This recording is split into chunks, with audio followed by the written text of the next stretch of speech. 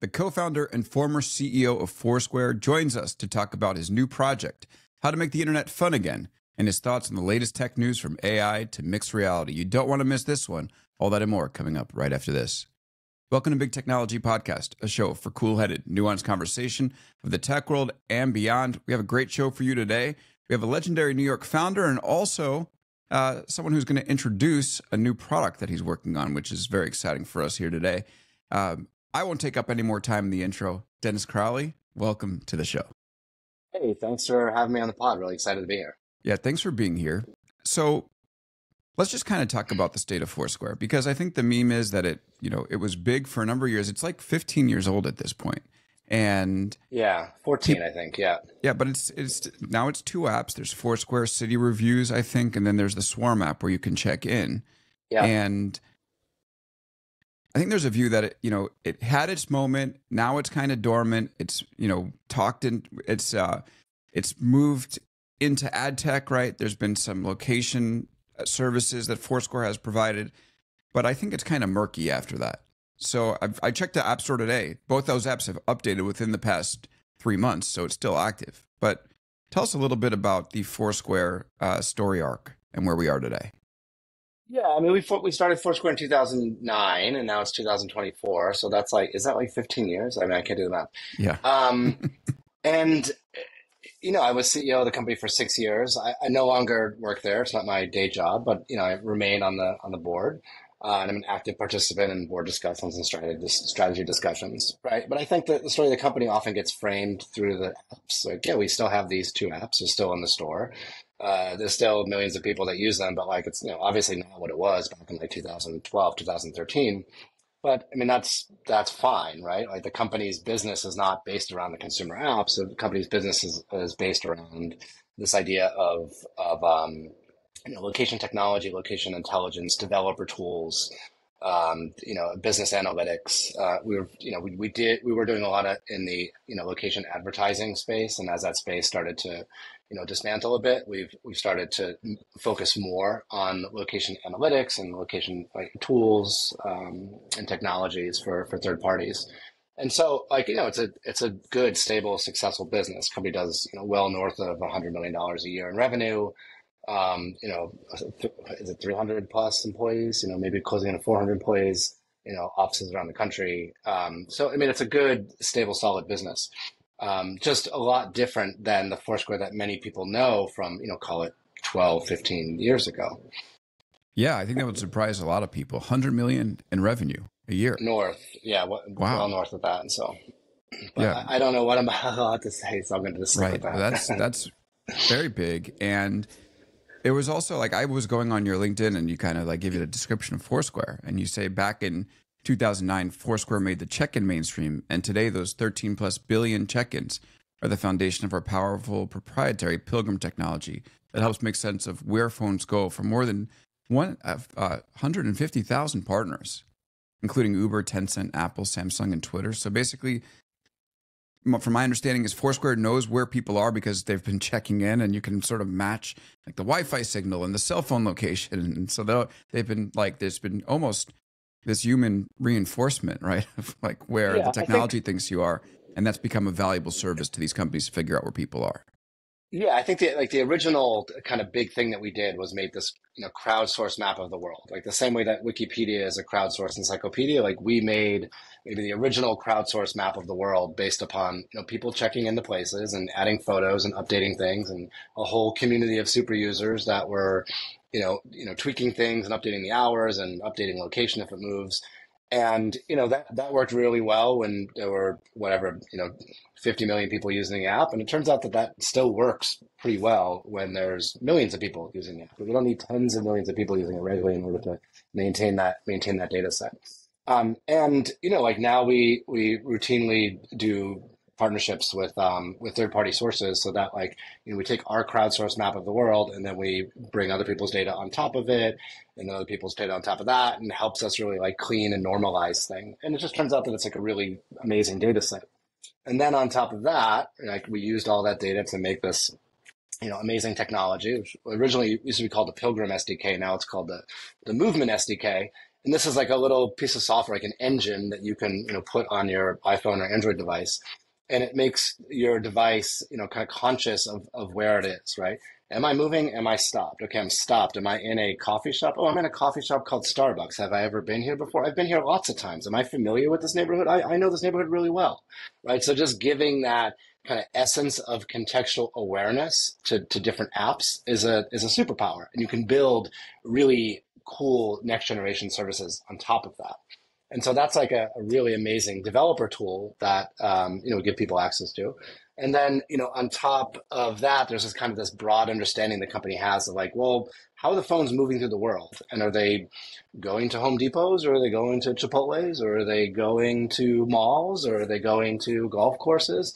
And, you know, that's just like a like an extra layer of intelligence that the platform has, and we can turn that into different types of insights and analytic tools um, that are interesting to a number of the partners and customers of the of the company. So it was at 50 million at users at its peak. Uh, I, I mean, there was it depends how you count, right? Yeah, like when we, we were running those numbers, it's like you know you're counting accounts, not like right. the number of. Remember, this is like many many years ago. So like th- that's to the point where like I couldn't tell you how many users there are of the consumer apps just because it's not the metric that we track, right? You, right. You're, you're tracking at this point based on customers and data points and revenue, just a you know different business um, that you know much different business than it was you know 12, 15 years ago. Totally, and the reason why I ask is because you know at that peak, it, I mean Foursquare dominated internet culture for a while, right? Like the idea of being yeah. a mayor of like a Foursquare place. Like I had my first tech story that I got published, or one of my first ones, was about this uh, plugin called uh, Couch Cache that you know made you seem yeah, like yeah, you remember that it made you seem like you had a cool life by like picking you picked like a different type of night that you wanted to have an artsy night or a like, uh-huh. you know a binge binge drinking night and would like post your Foursquare check-ins through the night to your Twitter followers to show like you were you were actually having a good time. Like this was like a huge part of internet culture. And it also seems in some ways like that era of the like it was a more fun era of the internet has passed. Yeah. And obviously like the user numbers, like you've said, we've moved from like maybe 50 to in the tens. Um, it, it does seem like that that peak has we've moved beyond it. So you were front and center. You are front and center. I mean, what do you think caused that shift from that like more fun and more consumer oriented internet to whatever we have today? That's a great question. Actually, it's a great, great discussion too. You know, I mean, there was there was a period, call it, you know, 2009, 2010, when we started, and a lot of these other things got started, where you're you're really just making apps for your friends, and that is super fun. And it's like, may the most fun app survive, right? Like that's that's that's how it worked. Um, and you know, as things are starting to grow, you start to get into this race where it's like, okay, all right, you know, Facebook was the biggest thing, and then it was Twitter, and then it's like, well, Instagram's growing and Snapchat's growing. Okay, how are we going to monetize these things? Well, it's going to be advertising. All right. Well, if it's going to be advertising, we got to get as many users as possible. Just get the numbers up regardless of what you're doing. And so, you know, then you take these products that are kind of niche and small, maybe a couple million users, and you start to, you know, make product changes that make it interesting and accessible and uh, attractive to, you know, tens of millions of users. And in doing so, like I think part of the the original product loses some of its soul, right? Like an example of this from Foursquare is like you know the, we used to have this inherent bias built in that like independent coffee shops and independent restaurants always trump um, chains, right? But then you know a big chain of coffee shops or a big chain of like taco places. But then as you start to do these like advertising deals with them, it's like, well, you can't really talk trash about the big chains if they're the ones that are that are um, you know, helping to pay the company's bills. And you kind of run into this weird thing. Well, well what are we going to do from a search result perspective? It's the company's opinion that the local taqueria is always better than the, the big chain. Well, but the big chain is not happy about being, you know, like you, you run into those types of issues. And then you start to get into the, the weighting of feeds, the algorithmic feeds, right? And, you know, this is like a well documented thing where I think a lot of people felt that social media started to feel less fun and less relevant and less personal when it was just you showing off what you were doing to all your friends and all your friends responding to it to like now you're seeing a bunch of strangers and now you're seeing a bunch of brands and now you're seeing a bunch of influencers and it's all just kind of like performance art and you know it's just like the the the structure and the incentive and the meaning and the why for a lot of the stuff has has just changed over time. And then there's like a whole generation, I think, of like, you know, consumers or users of internet products and internet culture that this is all that they know, right? Like they only know algorithmic feeds. They only know the for you feeds.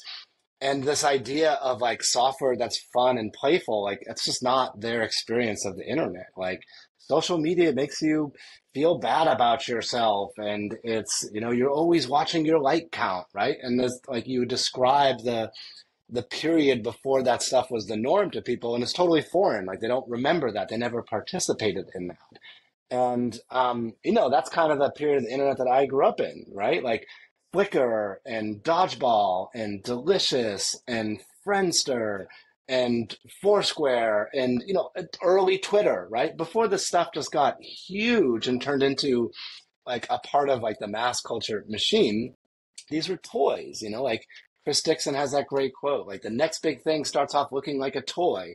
Like we made the toys. There's a lot of us that made toys beginning on, and then those things grew up to be these big platforms that like, you know, they just change over time. And um anyway, so like when I think about building stuff again, I think about it less from like a all right, how do we build the biggest thing possible? And more like, well, how do you make something just like super fun for people? Like, how do you get people back to this point where like they're using something because they they want to use it, not because it's designed to be addictive.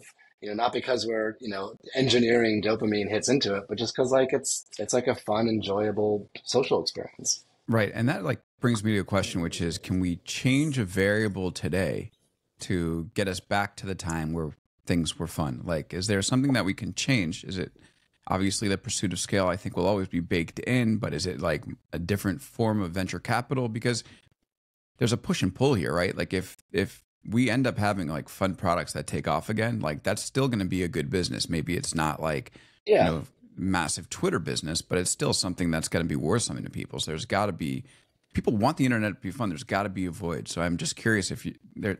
I'm yeah. I'm curious if you think there's a way to get us back there, and if so, what do we change? Um. Well, I think there's lots of like you know theses about what what what comes next right? And this is part of the whole web 3 thing right? It's like hey eventually people will will own their data and own their content and own their feeds and own their following. And maybe they'll monetize that and they'll be able to swap in their own algorithms you know complete control and ownership over these over these platforms. And um you know, like I just quoted Chris Dixon. He just wrote a, a, book about this. I'm working out of a space called BetaWorks. He gave a talk here last week, so this is like time top top of oh, mind for me.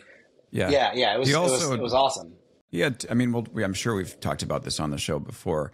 Uh, this this interview comes out, but he's he had two reps pitch this uh, show to come on as a guest, and then bailed at the last second. So oh, we're not, sure we're not very pro. The, the, yeah, I don't think it's busy. I think he and I mean this. Let's just do this aside because it's worthwhile. I think he is generally not interested in taking any questions that could be tough on him, and that's been a big criticism for for Web three is that it's just like boosters promoting boosters. So like uh, maybe well, this I might could work. this thing where like we're just dissecting the whole thing. So I saw the total yep. opposite side of that. Okay. Um, you know, maybe it's just kind of preserving it until the book comes out, but who knows? Um, but wait, what were we just talking about? We were talking about if there's a variable that we oh. can change. So okay, maybe oh, Web three oh, yeah. is one of them, but well, I don't think it's like a variable, but like mm-hmm. you know, I feel like I'm I'm old enough to have remembered a time where I'm like, Yahoo, what could ever be better than Yahoo? And then be like, Alta Vista, what could ever be better than Alta Vista, right? For search engines. Right. And then it's like, MySpace, who who could ever beat MySpace, right? Like these things that seem like impossible to deconstruct, like they eventually come tumbling down and then new stuff emerges in its place. And you know, even rewind like three years ago, like how the heck is Google gonna come apart? And then you you you start to see like oh, may- maybe we're kind of done with search and we're just always using bots and we're always using LLMs, right? And so you, you can start to see like maybe there is a changing of the guard that's happening. It's not a variable that you flip or a change, like, oh, let's just do this instead of that. But it's just like, you know, maybe the incumbents, this is the part where like they, they just, they can't move quick enough to keep up with new and emerging technologies and they'll steadily be you know, um, you know, up and coming companies, products, services that continue to challenge these things that just seemed like indestructible a couple of years ago. But even if the so technology shift might be one way to do it, but even if the technology shifts, like you still end up with that pressure that you talked about to scale, right? Like we're seeing even in the AI situation where you have these companies like OpenAI, which have like billions of dollars put into them, an $89 billion valuation. And those pressures to get big and do it in those ways that make things less fun will inherently come to them. And in fact, their mission of like uh, uh, developing AI responsibly, you know, sort of yeah. gets tested when they have all that money put into them. So, just to put a finer point on it, do you think there's a way of funding tech companies, you know, that can help them retain some of that original character that we talked about that just doesn't put these expectations to scale on them? Or is it just a fact of the internet economy that if you don't scale, you will shrink?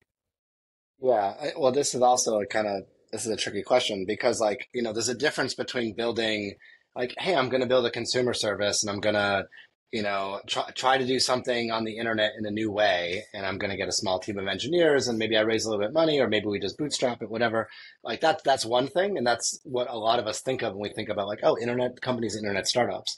And then you've got this whole other thing where it's like, if you're doing, you know, um, a lot of this AI work and you're, you, you need dedicated hardware and you need specific chipsets, like, you know, you need to raise a huge war chest in order yeah. to have access to the server farms that can do the stuff that you need to, right? As all these arguments around like, hey, it's going to be really hard to unseat companies like Google and OpenAI, OpenAI and Microsoft and um, and Facebook, for example, Meta, just uh, be, because they like they have all this infrastructure already, and it may be the case that you know he or she who has the best infrastructure is the one that ends up winning this round, right? And and who, who knows? But like, you know, when you when you're talking about like fundraising in general, like, hey, to build something like Foursquare, like we built 15 years ago, it's a totally different model. You would need a smaller team. The tools are much better, cheaper, easier, mm-hmm. right? You could probably do with five people what we were doing with 10 people back then, right? To build like a cutting edge, uh, you know, AI company, totally different ballgame, totally different model, totally different cost structure.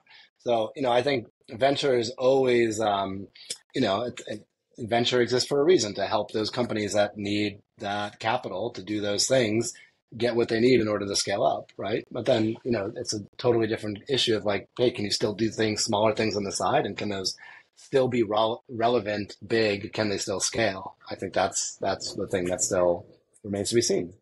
Yeah, and there's one more point about this, which I'm curious to get your take on, which is that yeah, you have the VCs pushing for scale, but you also have big tech that's copying and sort of if you if you have a good idea and it it takes some momentum as a standalone product it's almost like a sure thing that, especially if you're a consumer, that a Facebook or a Google will eventually just yeah. copy that. And then it goes from, okay, we're scaling, we're mm-hmm. gaining momentum to all of a sudden, oh my goodness, like Mark Zuckerberg is going to cut off my growth.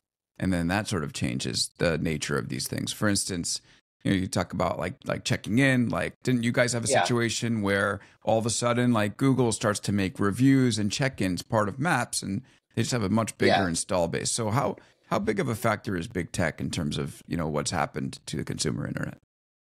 Well, I think it's it's less about.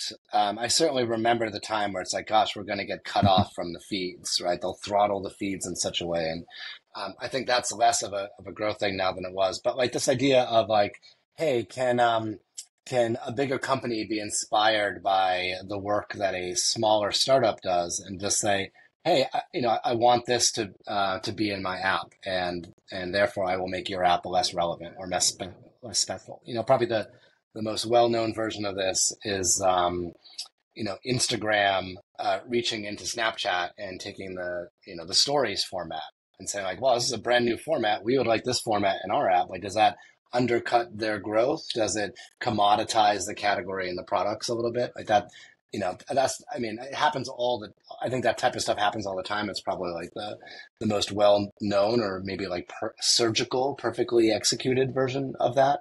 Um but yeah i mean like how many how many breakout apps do you do you see these days? Uh maybe it's like one or two a year really right? I mean, I'm I'm not as into the scene as I was before, but um, you know, it used to be like, hey, there's a new thing to play with every month. Every month, right? And yeah, and there, and and you know, there still is new stuff to play with every day, every month. But like, how much of the stuff really has sticking power?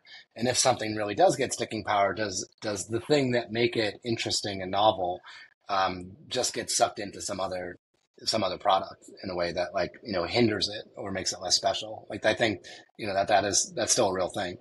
Um, that said, like you know, it's not stopping people that I know from continuing to build things.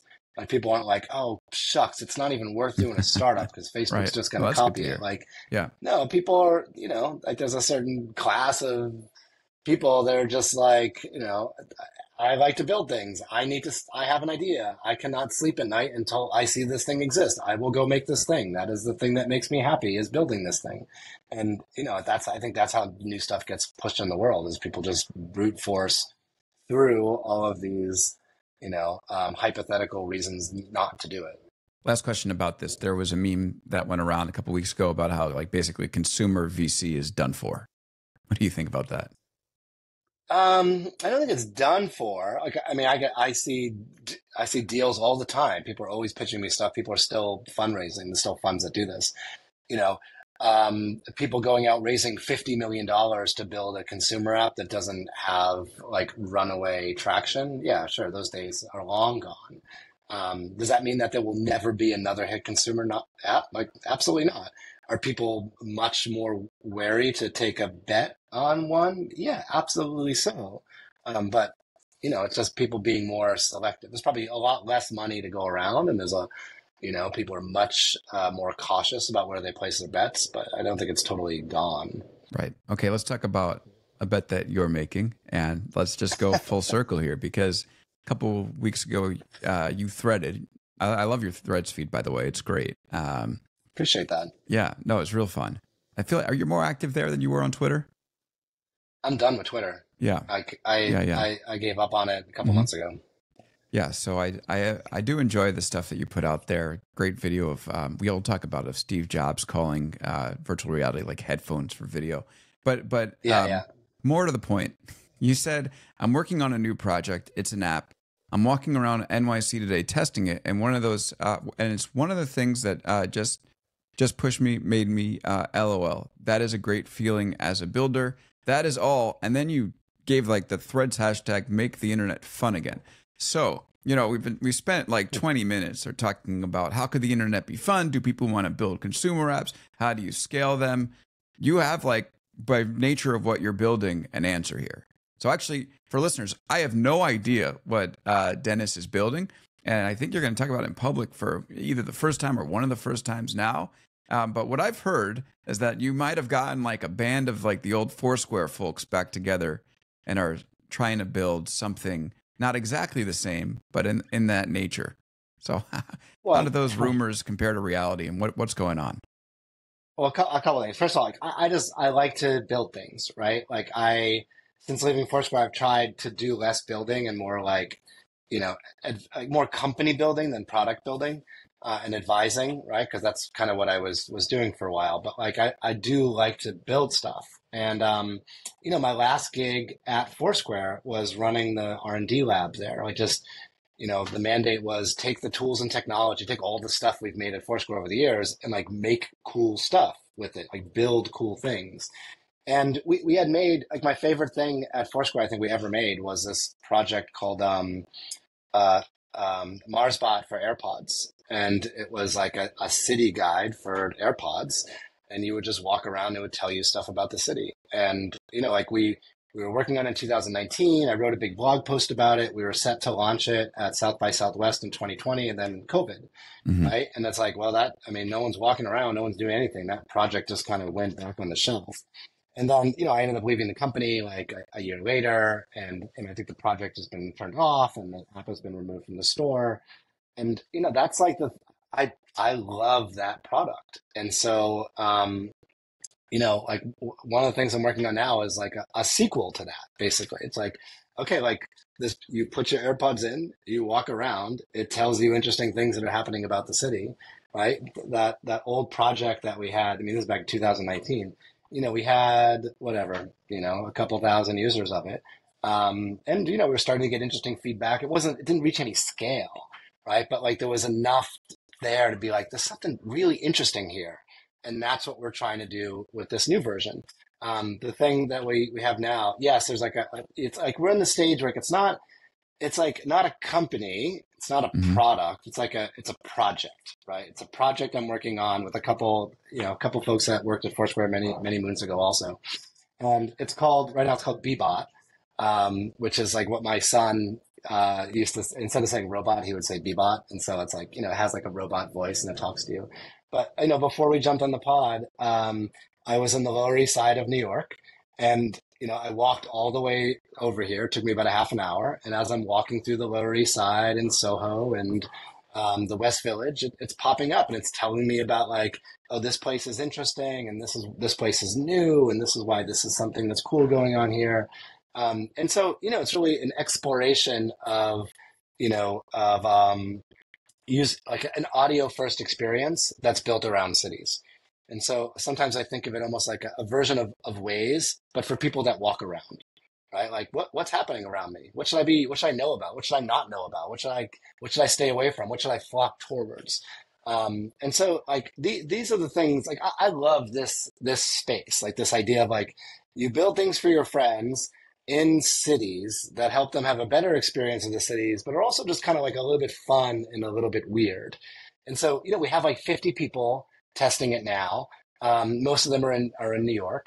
Like the feedback is like it kind of works, but it kind of doesn't. This thing's kind of funny. This thing's really annoying. This thing didn't work. Here's an unexpected bug. So we're in that point where like we're at that stage where it's like we're we're just trying to tune it so it works better, and then you can start to layer like the fun and whimsical and weird stuff on top of it. And I feel like that's kind of like my my bread and butter. That's the stuff that I love to do. Yeah. So hearing you talk about it, it's not like an audio tour. It's like not like a this yeah, yeah, is a history. Yeah. Oh, go ahead. Yeah, yeah. That, I, I should have clarified that. Like it's it's um, you know, I always thought of like um, audio as like poor man's augmented reality, right? Everyone wants to wear the glasses. Yeah. And see this and see the post-it notes, the virtual post-it notes, like I've seen the glasses. I've tried the glasses. Those glasses aren't happening anytime soon. But if you want to play in that space, like, okay, let's play with it with audio. Like, I'm wearing these things now. I've been wearing them for the last like two hours. Um, like this, this works. And like, you know, we were able to tune this enough where it's like you can be on a corner and it's like, you know, look up. And you're like, you look up and it's like, let me tell you about the thing you're looking at. There's no camera in it. You can just do that with the compass, the accelerometer, with motion, with GPS right? Like we're building the thing that we're building, it's built on top of the Foursquare API and the SDK, the movement, the Pilgrim SDK, which is now called the Movement SDK. Like it's it's like the same tech stack and it's like the same vibe. It's just like you know in a in a different state now. Um, but yeah, th- I mean that's like this is the stuff I kind of love love building. Yeah, it sounds great. So it will point out like if I'm getting it right, historic places, but also like cool buildings, interesting architecture, maybe event spaces or restaurants? A little bit of anything. Like I think of it as like a platform for contextual aware notifications. Cool. Right? Like it um you know, when people say notifications, you think of like, oh, I get push messages on my phone with like the headlines from the New York Times, right? And it's like, yeah, like that that I feel like there's so much stuff on your phone that's meant to distract you. That's meant to like like command your attention. You know, like I get a notification. It's like, whoa, why don't you disappear into the phone for a couple minutes instead of being in the real world? And what I want to do is kind of build a notifications platform that is respectful of your attention. Like we're not here to distract you. We're not here to pull you into the internet. We are here to augment your experience of, of the real world. Um, and like I feel like th- this is like this is what we were trying to do at Foursquare in 2013. You know, before things like Instagram and Snap got so big and people just got lost in endlessly scrolling, you know, feeds and dopamine hits of, of likes and and all. And it's like it. I have this whole thesis about like this this internet that that I wanted to exist 2009, 10, 11, 12, 13, building Foursquare, building this tech like that that internet never happened. It's over here in bizarro world. Mm. and like the internet we got is the one that's like you can just sit and scroll forever. The algorithm will keep giving you stuff. Spend more time looking at the gra- uh, the glass. Spend more time in the feed right? Remove yourself from the real world. And it's just like i get it. That's big. There's a huge ad model behind it. People are making tons of money off that. It's just like it's just never been the thing that i'm like passionate about. Like my whole career has been build software for the streets right? Stuff that helps people pay attention to the real world. And like i think what i'm trying to do now at this stage in my career is go back to that moment in time like 2013 where i feel like foursquare had a lot of the stuff right. We just we just weren't big enough to make the thing happen. And i want to go back to that and like build the things that like i think should have existed or that should exist in the world and it starts with this thing you know this BeeBot thing that we're working on now yeah and then so where does the uh, information that it pulls from come from like when it uh, finds a place a that you're interested of, in, yeah. you might be interested in.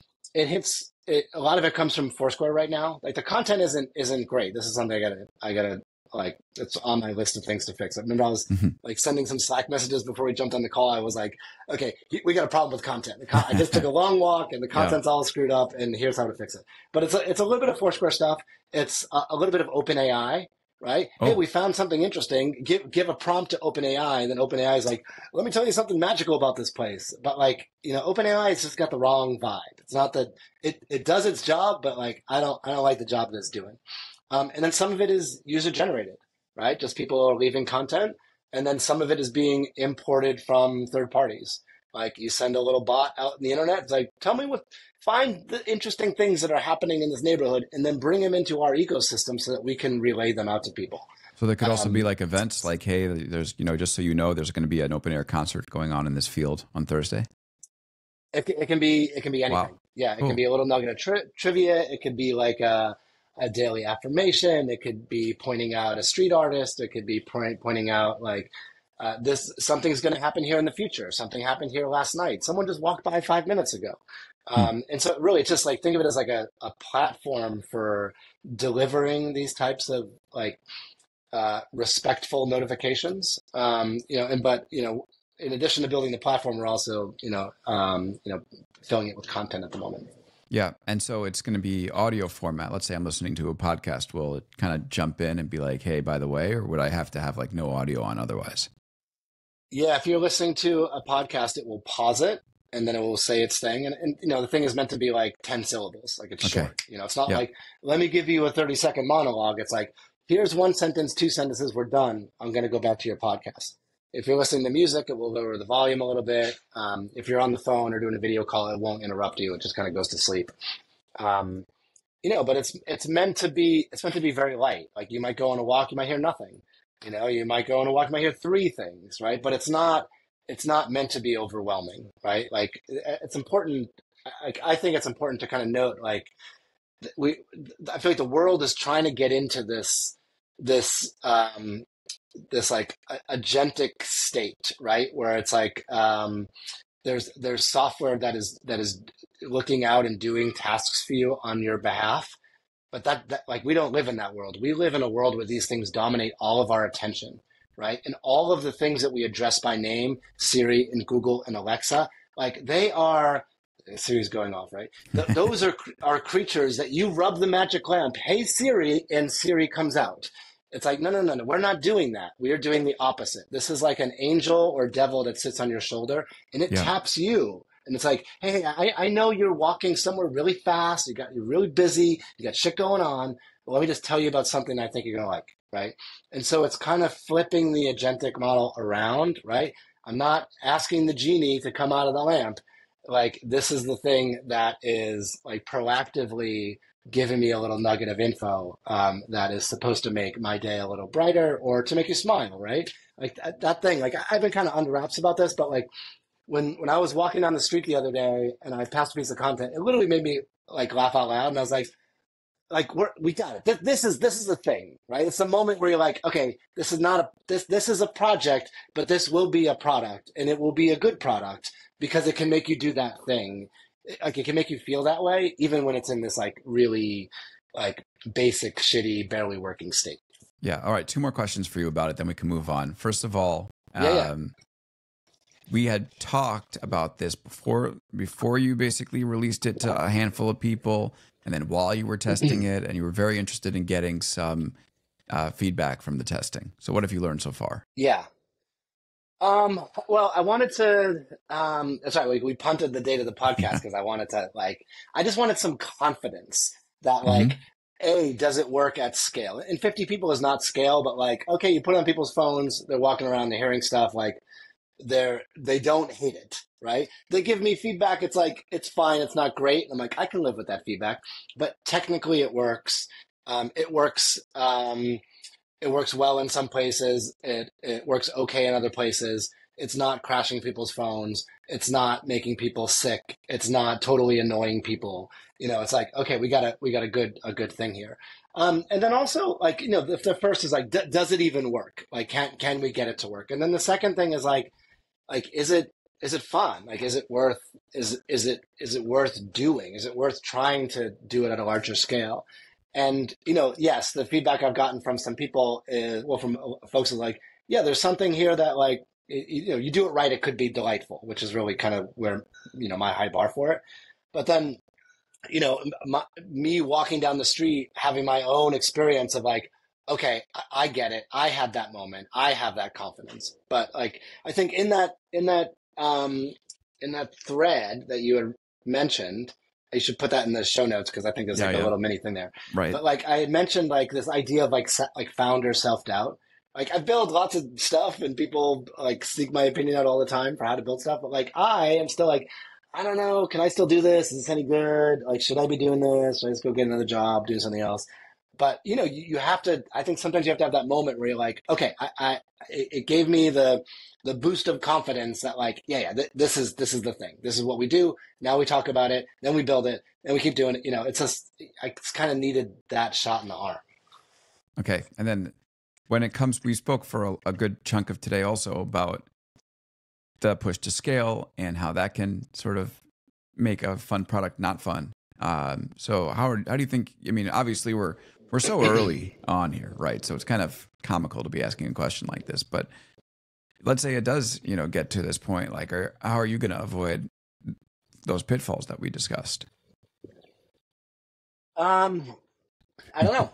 you know, like yeah. my, my my job right now is like make a thing that works, make a thing that people like, make it feel delightful and fun, mm-hmm. um, and then figure out how to turn it into turn it into a business, right? Like, what do I want to do? Uh, like an ad in data business again? No, I am not hungry to do that at all. Could I make it a subscription project product? Absolutely. Um, you know, could could there be you know some sponsored content in there, right? Where you know people are are you know brands are creating content and scattering them around. Like it's kind of like the stuff we did in early Foursquare. Sure, right? Do I have to raise a hundred million dollars to build this thing? No. Can I good. make it work yeah. with a smaller with a smaller team and kind of like a scrappier business model and maybe like some subscription and sponsorship revenue up front? maybe possibly right? So let's let's just try that. Right. um and then of course i mean like i i'm drinking like the the web3 kool-aid a little bit. I don't want to say like nfts and crypto but this idea that like um you know hey there's there's uh, opportunity for people to, to own their content. There's opportunity for people to monetize on those platforms. Like i i, I um like i'm hopeful about that stage of the internet and you know I want to build not not just this. I mean, I have a couple things I want to build um, that you know I th- that I hope will have the opportunity to participate in that ecosystem when you know m- my own products are mature and that ecosystem is is mature. Okay. And is there a link or a, I mean, I if you give me a link, I'll link it in the show notes. But is there like a URL people can go to sign up to a wait list? No. No. Okay. there is, there's a URL, but it's like, you know, Google form, blah, okay. blah, blah, blah, blah, blah, blah. So I will give you the link. Great. but it, I, it's not like, go to this website. So, yeah. Okay. Not great. That's a good idea, though. I should do that. All right. Well, if you give us a link and you want people on the wait list, we will we will link it. All right. Let's yeah, take. Uh, I will. I'm right the show. I'll do this, and you can put it in the show notes. So. Okay. Sweet. All right. Well, we'll take a quick break, and then we'll talk a little bit more about this Web three thing because we have differing opinions on that, and we should tease that out and then also maybe a little AI and VR, and then we'll head out. All right, back right after this with Dennis Crowley. And we're back here on Big Technology Podcast with Dennis Crowley. He's the co founder and former CEO of Foursquare, founder of BeeBot. You heard it here first. All right, so let's talk about, about Web3. The thing about Web three that that always outside of all the scam coins and all that stuff, um, Aaron Levie was here a, a couple years ago talking about Web three. We did a Web three episode, and his main criticism was that if you build for people with a financial stake in something, you're also gonna um, you're going to build something different than people who just want to use it as a user, and it's very difficult to build for those two different stakeholders in a way that's coherent. So you mentioned, in Yeah. the, I mean, in the first half, you were uh, drinking the Web three Kool Aid. You're a builder of, of products, consumer products. So how do you manage that tension? Yeah, I, I, I don't know, right? Because I've never built something in the in this Right. space before, and I should know. Like, I, I don't, I don't fashion myself a, like a Web three innovator. You know, like I don't Mhm. expect to be the one that's inventing stuff in the space. Um, I like to sit back and watch what other people are doing, and then be like, "Hey, is that something that would be applicable to what we're doing?" Uh, maybe, right? Maybe in a year from now, or two years from now, or something. Um, you know, I've worked on a, on a bunch of projects over the last couple of years, and and you know, some of them are like Web three adjacent, but like we, I never found like the real like it just ne- it never worked. It never it never worked in a way that wasn't forced, right? And that's not to say that it can't work. It's just to say like it just it doesn't work right now, right? And so I'm, I'm kind of like I'm hopeful and like um uh, I'm optimistic about like what people position as like the next phase of the internet, and then like you know I think I'm still wrapping wrapping my head around all the nuances of it. But you know I'm I'm more like Web three curious in a sense of like yeah. I see what's going on here. I appreciate the people that are building. I certainly recognize all the nonsense and scams that have happened. And I don't want to put all my chips in that pile, but like I kind of cautiously look at that as like that's a space I'd like to play in, like when and if that's mature enough to play in. Another thing that you talked about was that OpenAI had just let's just shift to AI. I think that like we could probably debate Yeah. Three, but it is interesting to hear your perspective on it. But on the AI front, um, you said Open OpenAI's vibe wasn't exactly what you were looking for. Now maybe for that particular product, but what do you think about what can be built on top of these things, and why wasn't that vibe right for you? Well, when I say the vibe wasn't right, I mean like the, the prompts, right? Right. Like we're doing some basic prompt engineering and and um, you know, I'm really like I I um the products I've built in the past have a lot of personality built into them, right? Foursquare was very snarky, Dodgeball had a real opinion about the world. Um, and so I'm trying to like have OpenAI I'm trying to define a personality so OpenAI can give me content that I feel like is like on brand for this thing that we're making, and I just haven't successfully done it yet. And so I don't mean OpenAI's vibe as a Right. company Oh, is okay. off. I mean like my prompt engineering is crappy, and I'm just kind of like I don't want to do any more prompt engineering. I'd rather spend my time doing other stuff. Right. Um, you know that that said, like you know, it's pretty clear like like this set of tools that exist are pretty freaking powerful, and it's like it really does foreshadow. I think what the next stage of the internet is gonna is gonna be.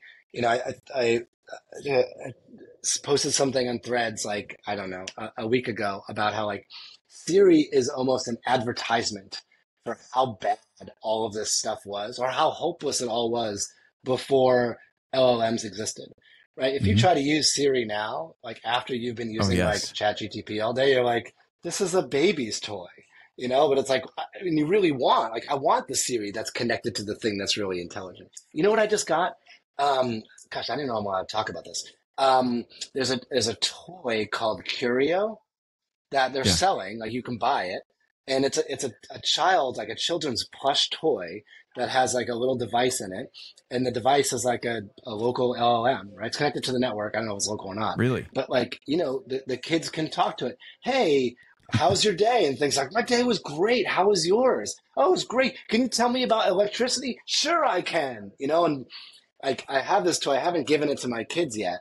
I, I Mhm. took it out of the package and I set it up and I was testing it, and I was like, man, this is like the future of toys. Why, why would why would you not want a toy that you can talk to? It's like straight out of Toy Story, right? Um, but just like that, just you know, occasionally you're playing with this stuff and you get a glimpse of like what the future is going to be, and you're like, that's kind of pretty cool. But then, of course, you get the glimpse of like the future's awful with like deep fakes and ChatGPT lying to you and just making shit up, right? Like, you know, the the future is is full of disaster and peril also. Um, but I, I mean, it's hard to look at a lot of these tools and not be kind of inspired for where this stuff is going. Do you? So you said you have lots. I of don't people- even know if I answered your question. No, that was a good answer. you had- you said you had a lot of Okay. uh, people that bring you um, bring you deals, and you've seen lots of consumer products. We're always like looking for like what type of products can exist with this stuff outside of like the Chat GPT big models. Are you seeing anything that's catching your attention outside of this toy? I, I see. Well, I see a lot of like consumer stuff. I see. Mhm. I see a lot of city guides. Like I see every city guide product that's out there. People bring it to me, and like I, I just know the space really well. I'm a little bit like jaded on the space. Like I, I see Yeah. a lot of things that are very interesting, but like it's really hard to get like a breakout app in that, um, in that space. I definitely have seen people. Um, experimenting with like chatbots and LLM stuff with city guides, right? Which I think is, is also interesting, but kind of hard to do. Um, you know, I, I'm I'm most interested in like folks that are kind of like reinventing a category. You know, like when we talked about the BeeBot stuff, and this might just be my own bias, but like I feel like we're we're doing this, we're we're kind of in the space where it's like I'm not making something that looks like something else. We're making something totally random, Mhm. right? And in that way, it's like it's weird, and people don't really get it, and it's some people kind of think it's kind of stupid, and that's great. That's that's like the space I, I like to operate in. Um, you know, but um, yeah, I mean, I, I haven't like I have stuff where I've just been like, this is so good, take take my money. Right. Um, I haven't Really? seen anything like that. Recently. you haven't Yeah, seen that not- yet. Well, I mean, I, I'm not seeing that. So there's tons of deals out there Yeah. I, I don't see, right? Right. Right. But I- That's a good I- data I, point. do. I though. see. Yeah, I, I mean, I see a lot of consumer stuff, and I, I see. I, I mean, I have a full empathy for how hard it is to have like a, a breakout hit in that in that space. It's really hard to do. Um, you know, any meaningful user acquisition. So, last question about uh, the AI stuff. We just had Gruber on for a very long episode talking about like Apple and uh, their their pursuit of AI was a very interesting Mhm. part of that conversation. and I'm curious, like, so you brought up Siri and how bad it is. Uh, do you? Let's say you put your like product hat on for Apple. Like, w- what could they do with this stuff? Because they are going to do something. Apparently, it's coming at WWDC. Yeah, I'm sure it's just like a you know a much more conversational version of Siri. You know, like my, my experience with Siri is it just like it just doesn't doesn't work. Mhm. um, a lot of times, and it like it, it can't hold a conversation. It loses the the connection with the conversation. It- you know, it's just it's just not it's just not great. Um, and I and I think what we've seen is like the beginning of what great looks like. Um, you know, that toy I was talking about for my kids. I was like, this is this is pretty cool, right? I'm conversing with a thing that's not alive, right? yeah. in a way that is far superior than Alexa and you know Google Home and, and Siri. Wait, what's is this that's, toy called? That's meaningful. Curio. Uh, Curio, yeah, I think it's, Mm. it's what's the website? hey HeyCurio.com. I got to get one of these. It's it's it's rad. Yeah, um, a, a buddy Mhm. of mine showed me their Instagram, and I went and, and ordered one. Cool. Um, let's see, where's Oh, yeah. Um, HeyCurio.com. hold on, I just lost your window, and I did that. Oh, here you are. Yeah. Um, so let, oh, go ahead. Yeah, so I, that that's what I would hope it would it, it would be. You know, just like a version of Siri that works as well as ChatGTP does, but just can access all the stuff on my phone. Okay. Uh, last question for you. Um, you and we mentioned in the first half, you put this uh, video up on on your feed of Steve Jobs talking about how basically headphones are amazing because it's like having a speaker there with you at all times, but we don't have what do you call it? Video head headphones for video, where you could put Yeah. on headphones Mhm. and all of a sudden and watch a video, and that's obviously what Apple has just created. Um, Yeah. Where do you where do you do you see this as something that really can develop into what they hope, or not? Um, I think everyone wants the Vision Pro to be the augmented reality hardware of the future.